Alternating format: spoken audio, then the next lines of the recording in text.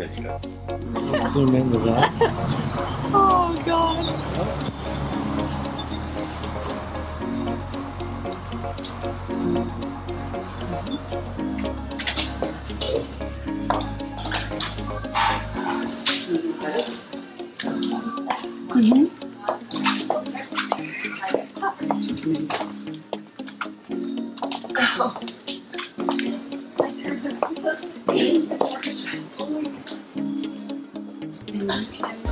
Just you need to unzip it, yeah, I'm on whatever makes you. I can unzip this. Okay, and then I'll come back in here.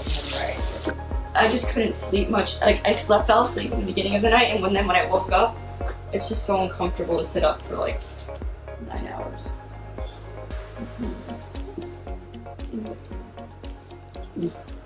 Nicer one.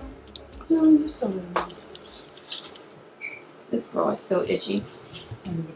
Oh god, I thought it was gonna have like a reaction or something, but it was so freaking. And then when I go to itch, I can't feel anything on my boobs. Oh my god, this is so weird. I want my nipples to go back to normal though. Let's take a look at Good morning. Good morning. How are you doing? Oh my god, I'm so I won't touch anything. I'm like, I kept telling him, I don't know if it's because of the pain medication or I'm a badass, but I'm in not in any kind of pain. You know, we choose appropriate sized implant, it's not that bad. Well, that's what I was thinking. I'm like, I'm sure if I would have gone a lot bigger, I would have probably But if you been. put a 350 in there, It would have you'd been be feeling it huge. this morning. Yeah, because your muscle would just be on such stretch, and you'd have more swelling and more tightness. Yeah, I mean it's a little bit tight, but and it's weird because the bra was making me kind of itchy. But then when I go to itch, like this is all like numb, like when your arms yeah, asleep. I was like, especially on that side. I'll, I'll so talk to you about that in a second. Yeah. Hip surgery, no people problem. are just kind of in a post anesthesia stupor, and you're taking Yeah. meds. The blocks are still in place. yeah, The blocks are going to be completely gone as of this morning. Right. So yeah. But other than that, and I keep forgetting, so I'll go to reach something. And I'm like, oh, oh, forgot yeah, I can't do just that. listen yeah. to your body. Yeah. yeah. What are the blocks? What is It's like nerve blocks. I, I put numbing Oh, medication okay. along each of the ribs.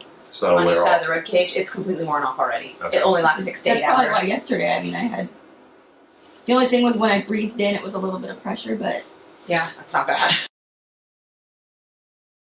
Right after surgery, it's best to limit lifting and arm movement for the first two weeks. You also want to limit any cardiovascular activity for the first two weeks because anything that will raise your heart rate or blood pressure can increase the risk of bleeding and swelling after surgery.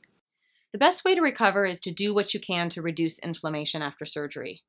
There's a mnemonic that physicians have long used for strains and sprains called RICE. This is rest, ice, elevation, and compression. Rest means that although you can move your arms within a normal, comfortable range and even lift them over your head if you're comfortable, you should avoid overuse of the arms by doing things like emptying the dishwasher and vacuuming. This should be done for the first two to three weeks after surgery. Ice and cold compresses can be used on top of the breasts to reduce pain and reduce inflammation, as well as minimize swelling in the first 24 to 48 hours. A compressive garment is generally worn for two to three weeks after surgery to minimize swelling and to actually help add support and comfort for the breasts. Most patients find that within a few months after breast augmentation, they're able to get back to all the activities they were able to do before.